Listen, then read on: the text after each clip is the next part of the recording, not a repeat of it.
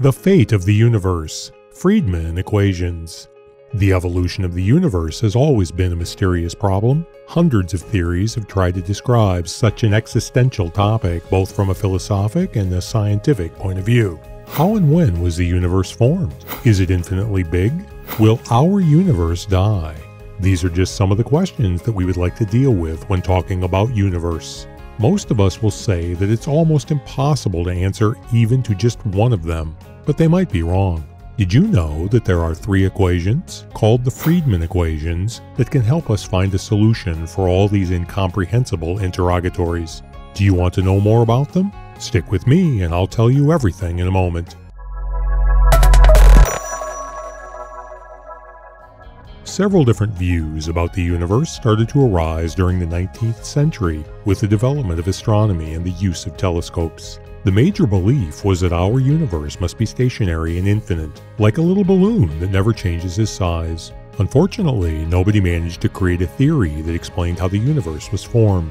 As a result of that, the scientific community was considering our world as something that has always existed, something totally immutable, boundless, and infinite. Therefore, this structure was proved to be wrong by a simple paradox known as the Olbers paradox. Have you ever heard anything about that? It just tries to explain why the night sky is dark. Even if it seems to be irrelevant and useless to describe something we see every night, this little paradox has taken us to astonishing conclusions.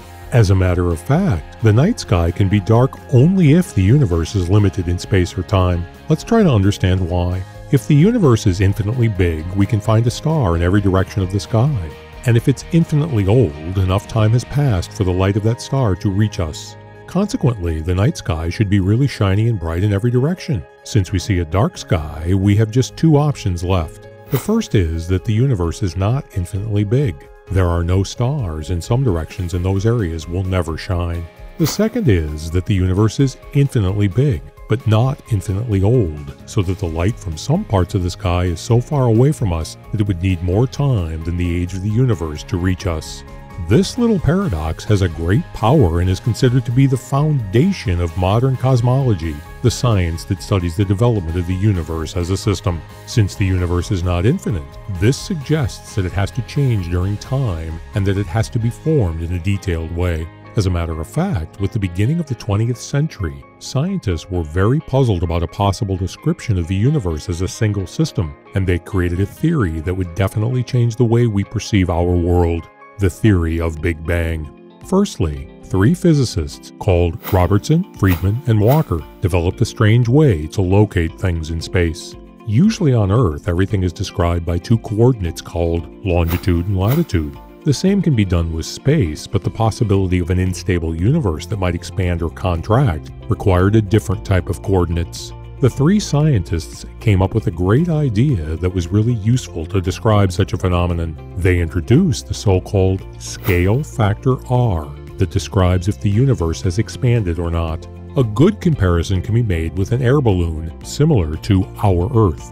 Let's imagine that it has a scale factor, r equals 1, and a little point with its coordinates is drawn on it. If we inflate the balloon and its size doubles, the point will always have the same coordinates, but the balloon will be bigger than before and its scale factor will be r equals 2. In physics, we say that the point is located by a system of co-moving coordinates that don't change in time and the size of the balloon is described by the scale factor that changes in time if the size increases or decreases. This system is also known as FRW metric. Furthermore, this useful type of coordinates depends even on a curvature parameter called k that describes the shape of space. There are three types of curvature flat, k equals 0, like an even ground, positive or closed, k equals 1, like that of a spheric object as the Earth, and negative or open, k equals minus 1, like that of a Pringles potato chip. What is the curvature of our universe? Our universe is supposed to be flat, but we'll discuss that later on in this video.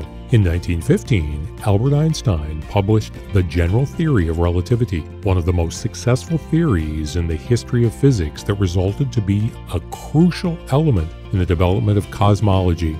As a matter of fact, seven years later, Alexander Alexandrovich Friedmann developed the three most famous equations about the evolution of our universe by using Einstein's discoveries and the FRW metric he helped to create years before.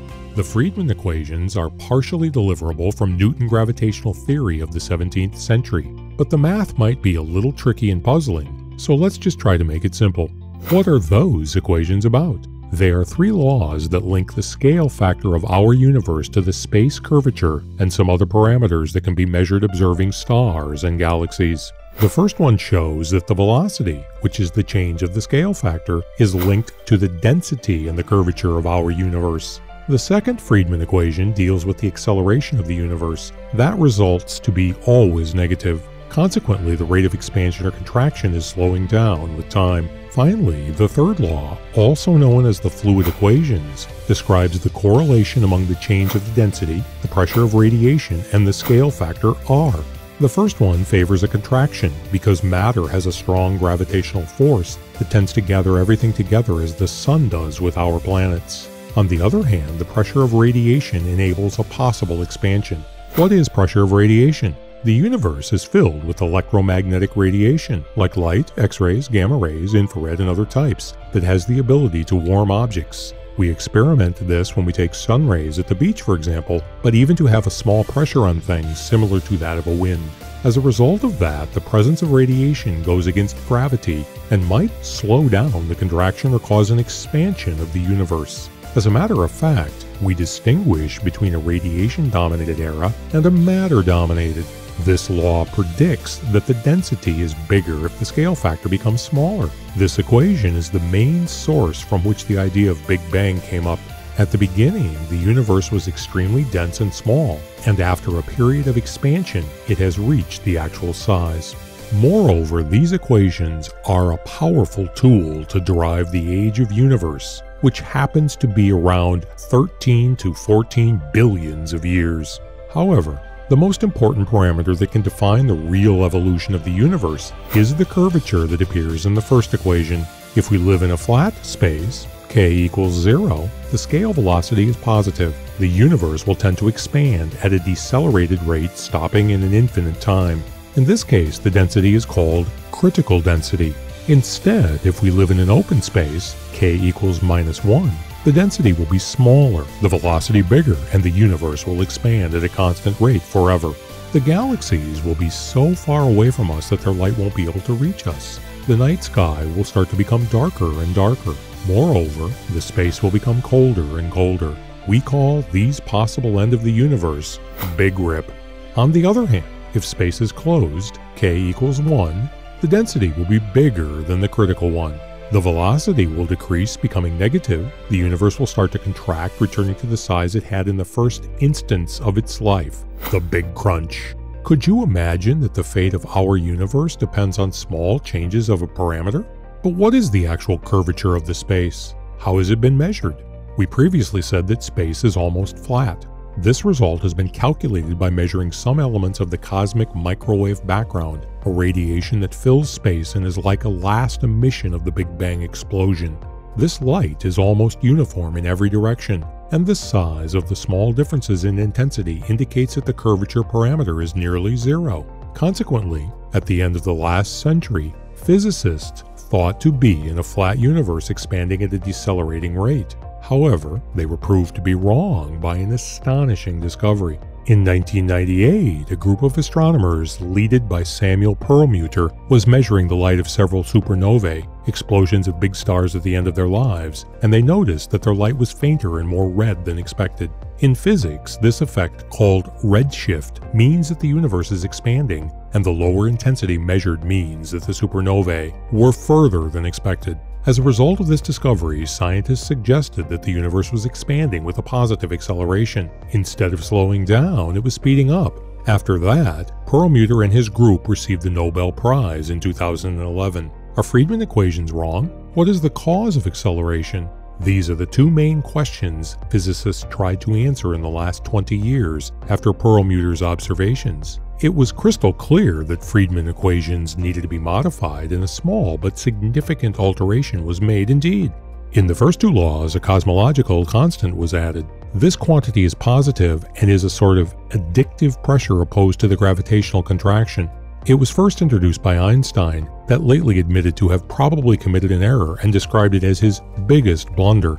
However, the cosmological constant resulted to be perfect for the description of the accelerated expansion through the Friedmann equations. The addiction of this quantity made the acceleration positive in the second law, and it can be considered as an extra density.